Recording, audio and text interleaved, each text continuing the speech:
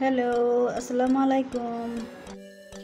তো আজ আমি বানাবো বেগুনের পোস্তা। একটা বেগুন নিয়েছি এখানে এখানে একটা টমেটো, এখানে নিয়েছি পোস্ত। তো এখন আমি পোস্তগুলো বেটে নিব, ভালো করে ধুয়ে আর এটা কেটে নিব, টমেটো আর বাগুন। এখানে আমি বাগুন কেটে নিয়েছি। আর এদিকে আমি একটা টমেটো কুচি করে কেটে নিয়েছি, দুটো কাঁচা লঙ্কা, আদা রসুন একসাথে বেটে নিয়েছি, এখানে পেঁয়াজ কুচি। আমি ফার্স্ট হলুদ আর লবণ দিয়ে বেগুন মাখিয়ে ফ্রাই করবো বেগুনটাকে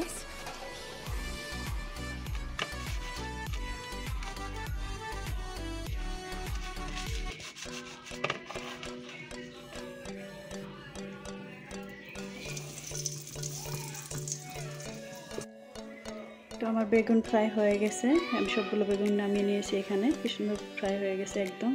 ভালো করে সিদ্ধ হয়ে গেছে। তো এখানে আমি দিয়ে দিব কালো জিরা।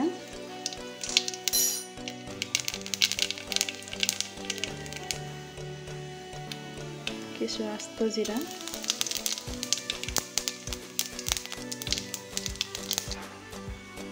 এখানে দিয়ে দিব আমি কাঁচা লঙ্কা।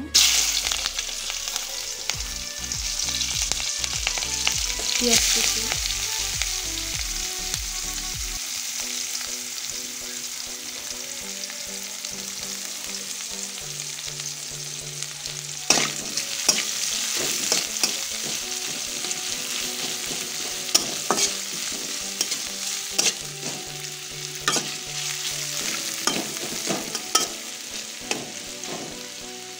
একটু ব্রাউন কালার করে ভেজে নেব।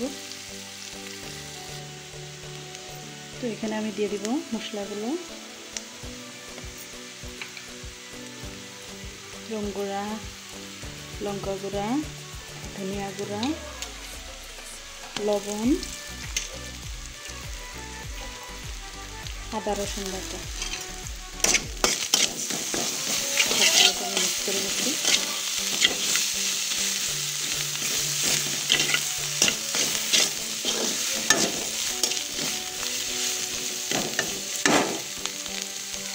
দিয়ে দেবো এখানে কুচি করে রাখা টমাটো। তো মশলার টমেটো কষানো হয়ে গেছে, এবার এখানে আমি দিয়ে দিব পোস্ত বাটা। দিয়ে এটাকে ভালো করে জাল করে নিব।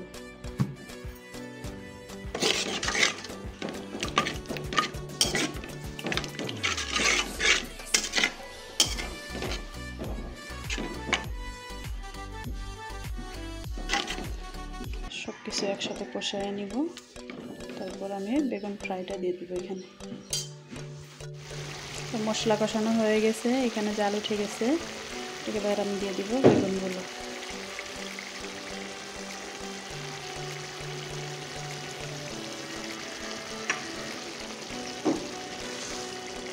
এটাকে ঢেকে পাঁচ মিনিট রেখে দিব। তো আমার বেগুন পোস্ত রেডি এটাকে আমি এখন নামিয়ে সার্ভ করে নিব। এটা আমার বেগুন পোস্ত হয়ে গেছে, আমি নামিয়ে সার্ভ করে নিয়েছি।